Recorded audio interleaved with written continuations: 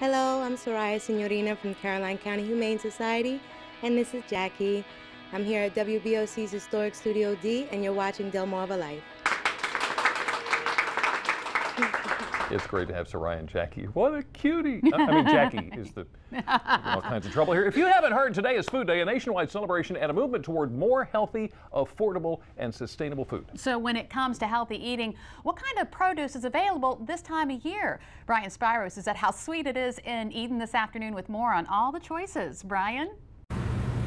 Well, Lisa and Jimmy, first a little bit about Food Day. It's actually celebrated every year and aims to accomplish several different things, some of which include reducing diet-related diseases by promoting safe, healthy food, supporting sustainable farms, and expanding access to food to alleviate hunger. And with that said, we are going to talk about healthy food and some of the food that's available this time of year. And joining me now is Brent, who is the owner of How Sweet It Is. So the first thing, Brent, I want to talk about is people often think that probably the summer is when everything's at its most plentiful, but that's not the case.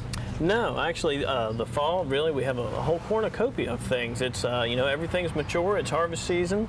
Um, a lot of things that you know people are familiar with. We've we've got out here for you today. And we have a lot of stuff here. So let's start. We're going to start over here with the sweet potatoes first. Okay, okay. Everyone's familiar with your regular old-fashioned sweet potatoes.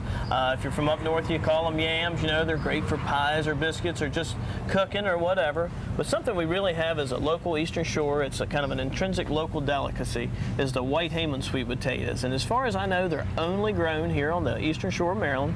And uh, they, uh, they're great. They're a little different inside. They're harvested late in October, and we like to keep them about 70 degrees until, until about Thanksgiving. And then they're yellow inside. They're a lot sweeter than the others, and they're, uh, they're something you can only get here. So if people want them, this is the time of year to get them. Absolutely. So moving on from the sweet potatoes, what else do we have here that's healthy and available this time of year? Well, there's a lot of things. A lot of people, uh, you know, the fall's when your, your peppers finally turn red. If you want to make pepper relish, you know, green and red peppers. Uh, the turnips, you know, the, all your greens are starting to get ready, so now it's time for turnips and beets if you want to pickle your beets. Of course, we, we have our own line of pickled beets and pepper relish and all that stuff. We're fortunate to have a, someone that takes care of the apiary locally here. We've got local honey, which is great for your local allergies and stuff. Uh, there's a trend now. We've got local organic free-range chicken eggs. There's a there's you know there's local cheeses and stuff. And something that's really cool is there's still people around that that hand shell lima beans all year long. People look for those. This is the time of year in the fall when they're ready.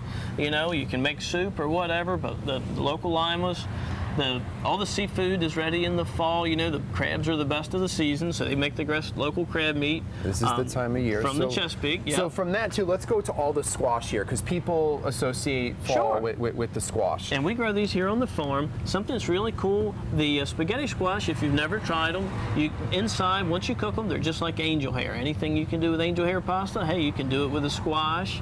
The acorn squash, you know, butter, cinnamon, nutmeg, bake them. They're kind of like a sweet potato, as are the butternut. But with a butternut, a lot of people don't know you. They make great pies. And they're actually easier to work with, you said, than using a pumpkin. Absolutely. So, all right. Now, this is interesting here because when I think of zucchini and, and yellow squash, I think uh -huh. of the summertime, but it's actually available this year. Right. This time of year. Well, this, you know, this is kind of the last go around. This is the last crop before we start getting the heavy frost, kind of taking this stuff out for the season. So enjoy that kind of stuff.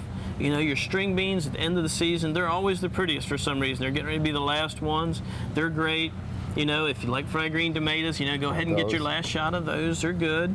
So and all that's available. And then moving on now to the one thing people probably associate with the fall, of course, sure. would be the apples. Sure. In the fall, you're bobbing for apples. Your apples with the kids' lunch for snack, making apple pies. The cider's available. You know, everybody's favorite apple of the season, locally anyway, is the Winesap. It's your last local apple of the year. They're the ugliest apple and the best eating. They're crisp, they're tart. You can snack them, make pies. All right, so good. So the ugliest apple, but the best. But the best. Um, and then let's talk about uh, the greens here. These oh, are very yeah. healthy for you. Very healthy. Everybody's got their own take on how to cook them.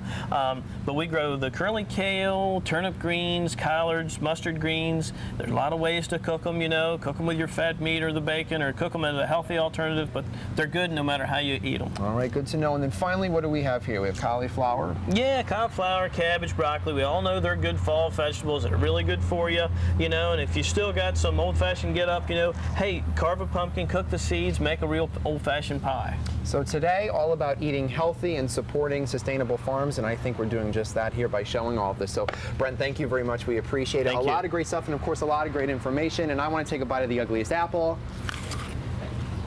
That's good. Good stuff. I like it. All right. Jimmy and Lisa, maybe I'll bring some back for you. I haven't decided yet, but we'll send it back to you guys in the studio. I already made my request. Need some other ideas to keep it healthy? Just read the labels of the food you eat. What food additives you may want to avoid to keep the body going strong. But first, here's a look at what's coming up in the news. First at 5 on Fox 21, a little bit later on. WBOC News at 6.